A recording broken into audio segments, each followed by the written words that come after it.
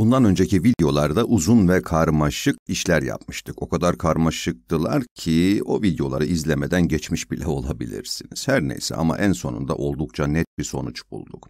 Hatayı doğruya olan uzaklığın karesiyle ölçtüğümüzde yerleşimi en iyi olan regresyon doğrusunun eğim ve y ekseni kesim noktası için bir formül bulduk. Bulduğumuz formülün gözümüzün önünde bulunması için buraya bir kere daha not edelim. Doğrunun eğimi x'lerin ortalaması çarpı y'lerin ortalaması eksi x y'lerin çarpımının ortalaması. E, bu noktada bunun karışık olduğunu düşünüyorsanız sakın endişelenmeyin. Az sonra bir örnekle üzerinden geçeceğiz. Devam ediyorum. Bölü x'lerin ortalamasının karesi eksi x karelerin ortalaması. Bu istatistik derslerinde veya kitaplarında gördüğünüz formülden biraz farklı. Bahsi geçen formül genellikle bunun tersi gibi görünür. Demek istediğim payı ve paydayı eksi 1 ile çarparsak, x y'lerin ortalaması, eksi x'lerin ortalaması çarpı y'lerin ortalaması bölü x karelerin ortalaması eksi x'lerin ortalamasının karesini elde ederiz. Bu iki ifade elbette birbirinin aynısıdır. Bunun payını ve paydasını eksi 1 ile çarpınca bunu elde ediyoruz. Bu sayede m için bulduğumuz bu değeri doğrunun denklemine koyarak b'nin neye eşit olduğunu da bulabiliriz. Hemen not ediyorum. b eşittir y'lerin ortalaması eksi m, m yerine burada bulduğumuzu yazmamız lazım. m'yi de sarıyla yazayım ki takip etmesi kolay olsun. Çarpı x'lerin ortalaması. İhtiyacımız olan şeyler işte bunlar. İsterseniz hemen bir örnekle çözebiliriz.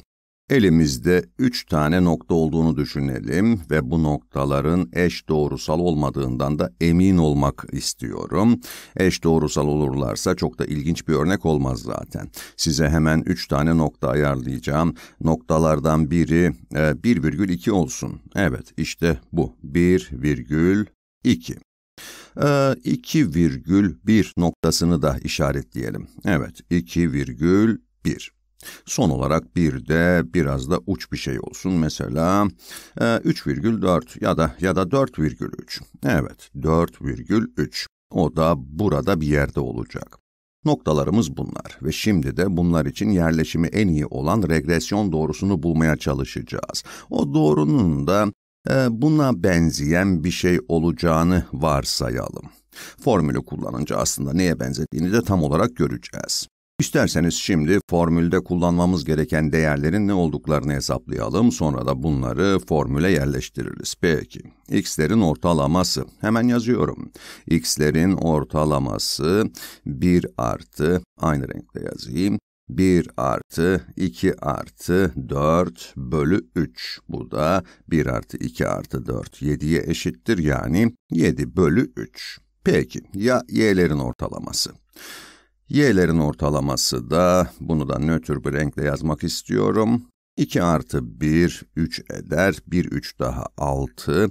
6 bölü 3'ten bu da 2. 6 bölü 3, 2 eder öyle değil mi? Sırada x ve y'lerin çarpımının ortalaması var. Birinci x çarpı y, 1 çarpı 2. Yani 2 artı 2 çarpı 1 ve artı 4 çarpı 3. Bu x y'lerden 3 tane olduğuna göre bunu bir de 3'e bölmemiz lazım. Hesaplamayı da yaparsak 2 artı 2 4 eder. 4 artı 12 16 ve 3'e bölersek 16 bölü 3 buluruz. x karelerin ortalamasına da ihtiyacımız var. Evet, x karelerin ortalaması.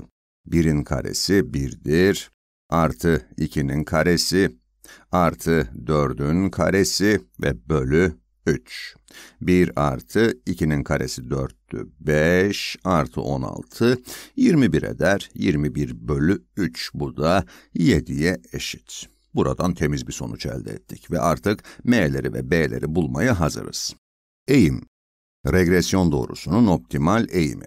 x'lerin ortalaması 7 bölü 3'tü, çarpı y'lerin ortalaması yani 2, eksi x y'lerin ortalaması, bu da 16 bölü 3'tü. Bunu x'lerin ortalamasının karesi yani 7 bölü 3'ün karesi, eksi x karelerin ortalaması yani 7'ye böleceğiz. Şimdi de bu işlemi yapalım. Hesap makinemi kullanmak istiyorum ama yok hesap makinesi kullanmadan biraz pratik yapmakta faydalı olur öyle değil mi bakalım. Eşittir 14 bölü 3 eksi 16 bölü 3 bölü 49 bölü 9 eksi 7. 7'yi paydası 9 olan bir kesir olarak yazayım. 63 bölü 9 öyle değil mi? Evet. Pay eksi 2 bölü 3 paydada ise 49 eksi 63 eksi 14 bölü 9. Bu da eksi 2 bölü 3 çarpı eksi 9 bölü 14'e eşittir. Payı ve paydayı 3 ile sadeleştirelim. Eksilerden de artı elde edeceğiz. 3'e bölünce bu 1 olur. Bu da 3. Bunları da 2 ile sadeleştirelim. Bu 1, bu da 7 olur. Böylece eğimi 3 bölü 7 olarak buluruz. Şimdi de bunu kullanarak y ekseni kesim noktasının neye eşit olduğunu bulalım. Onu da burada yapalım. B, y'lerin ortalaması yani 2 eksi eğim yani 3 bölü 7 çarpı x'lerin ortalaması yani 7 bölü 3'e eşitti. Bunlar birbirinin tersi olduğu için sadeleşecekler ve buradan 1 gelecek. Evet 2 eksi 1 o da 1 eder. Y ekseni kesim noktası da 1'miş. Böylece doğrunun denklemini de bulduk. Regresyon doğrusu y eşittir m'i, m'i bulmuştuk. 3 bölü 7 x artı y ekseni kesim noktası da 1'di. İşte bu kadar. İsterseniz grafiğini de çizebiliriz. Y ekseni kesim noktasının 1 olduğunu biliyoruz. İşte burası Eğim ise 3 bölü 7 olduğuna göre bunu x ekseni yönündeki 7 birim ilerleme için y ekseninde 3 birim yukarıya doğru ilerleme olarak yorumlayabiliriz ya da x ekseni yönünde sağa doğru her 3,5 birimlik ilerleme, y ekseni yönünde yukarıya doğru 1,5'lik bir ilerlemeye denk gelecek de diyebiliriz. Evet, 3,5 için 1,5. Doğruyu çizmemi de isterseniz tabii tüm bunları elimle yaptığımı da aklınızdan çıkarmayın. Demek istediğim gerçek regresyon doğrusu bundan biraz farklı olacaktır. Hemen çizelim. Evet, işte buna benzeyen bir şey. Bu noktadan da geçmeyecek. Evet, böyle çizersem daha iyi olabilir. Bu doğru ki formülle de bunun böyle olduğunu ispatlamıştık. Bu noktaların doğruya olan uzaklıklarının karesini minimize ediyor. Bu arada net bir sonuç elde ettik. Çok iyi oldu.